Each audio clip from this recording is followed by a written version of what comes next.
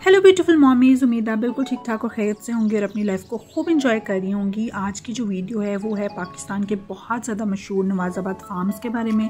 तो चलिए चल के वीडियो को शुरू करते हैं और सबसे पहले नवाज़ाबाद फार्म्स की हिस्ट्री के बारे में जान लेते हैं। 1943 में शाहनवाज साहिब ने अपना जो बिज़नेस है, वो आगरा और दिल्ली में शुरू किया और फिर पाकिस्तान बनने के बाद उन्नीस में उन्होंने अपने हेडकोार्टर्स जो हैं, वो कराची में शिफ्ट किए और एग्रीकल्चर के जो बड़े नाम थे और इंडस्ट्रीज़ थी, उनके साथ जो है, वो अपने ताल्लुक बहुत मज़बूत किए और इसी तरह से उनका नाम जो है, वो बहुत कामयाबी से जो है, वो फैलना शुरू हो गया पाकिस्तान में। और अभी जो है जो नवाज़ाबाद फार्म्स हैं और इससे जो एसोसिएटेड ग्रुप्स हैं, वो जो है, वो बहुत पाकिस्तान के बड़े शहरों में हैं, जैसे कराची, हैदराबाद, लाहौर, रावलपिंडी, इस्लामाबाद, पेशावर और कोयटा और इनके जो डीलर्स हैं, वो इन्हीं बड़े शहरों में हैं और यहाँ पे जो हैं, वो तीन हज़ार और इससे ज़्यादा जो हैं एम्प्लॉयज़ जो हैं, वो यहाँ पे काम करते हैं और प्रोफेशनली बड़े अच्छे तरीके से सारे निज़ाम को वो चला रहे हैं। इनके साथ जो मशहूर कंपनीज़ और ग्रुप्स एसोसिएटेड हैं उनमें से कुछ हैं Nawazabad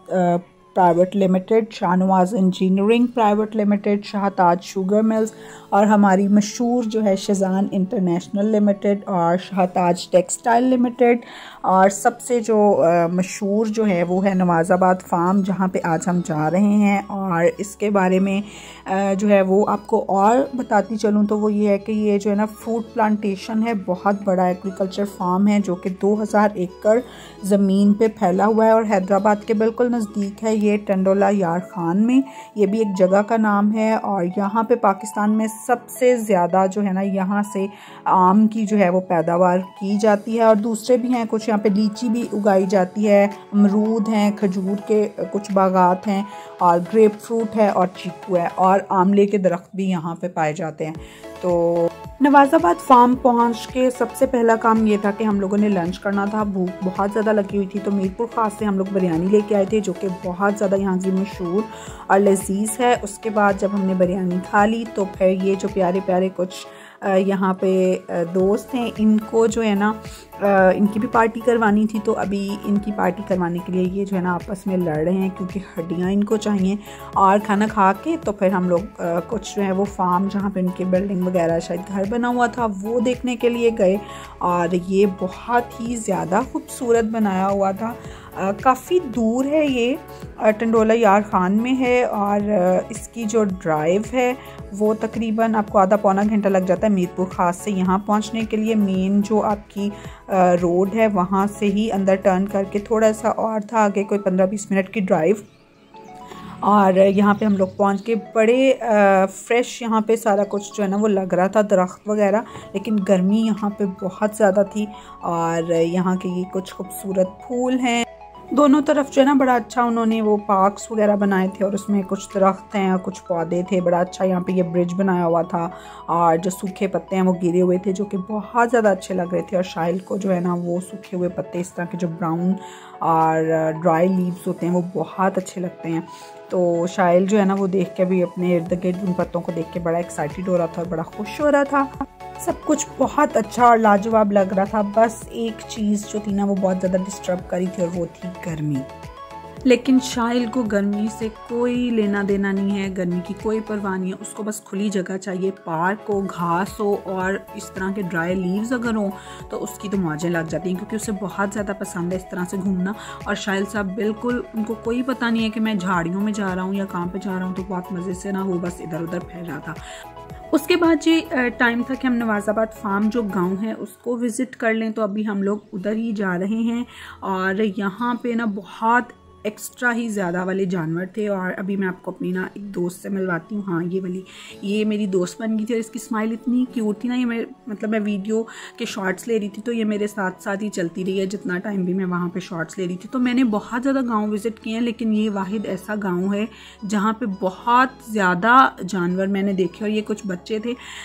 जो बड़े खुश हो रहे थे हम लोगों को देख के तो इनके भी मैंने शॉर्ट्स लिए और अभी हम लोग एक घर में जा रहे हैं और वहाँ के कुछ शॉर्ट शॉर्ट्स में आपको दिखाऊँगी।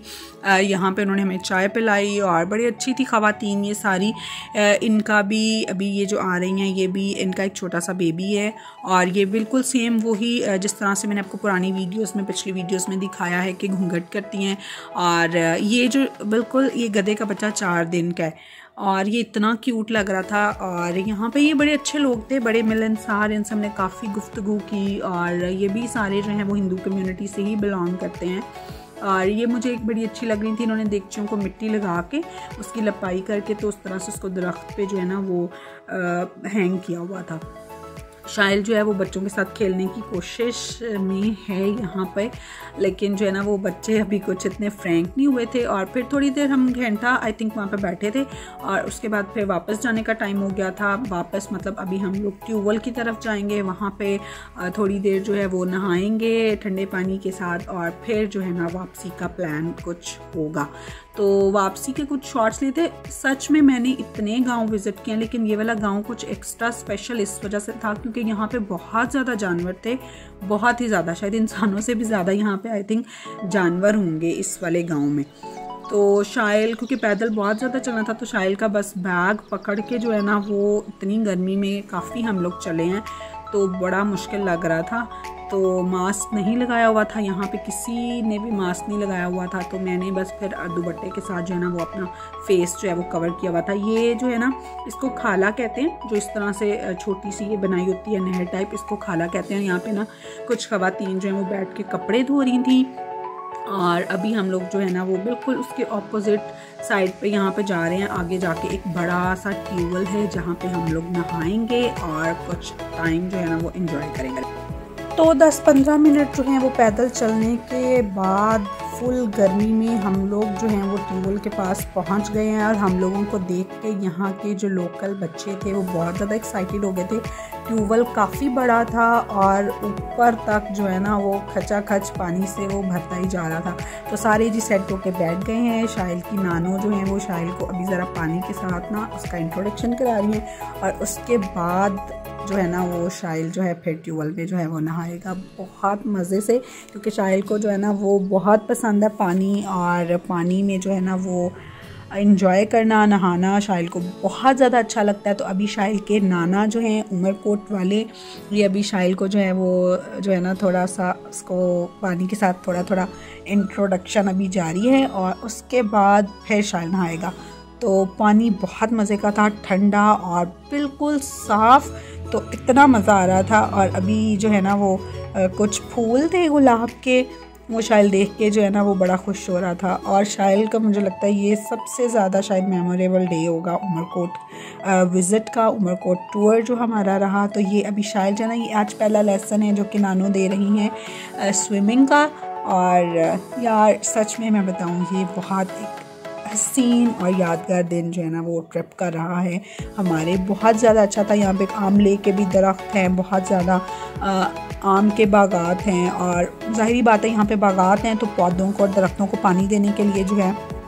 वो एक बड़ा अच्छा सिस्टम जो उन्होंने बनाया हुआ था, वो था ट्यूबवेल तो हम लोगों ने बहुत ज़्यादा इन्जॉय किया। आई होप कि आपको भी ये वीडियो बहुत अच्छी लगी होगी। और अगर अच्छी लगी है ना तो आपने लाजमी लाजमी लाजमी मुझे कमेंट्स में बताना मैं अपने कमेंट्स का ज़रूर वेट करूँगी। अपनी दुआओं में मुझे याद रखिएगा। अपना बहुत ज़्यादा ख्याल रखिएगा। अब जाने का टाइम हो गया है और फिर नेक्स्ट वीडियो में मिलेंगे हम ज़रूर। तो नेक्स्ट वीडियो तक खुदा हाफ़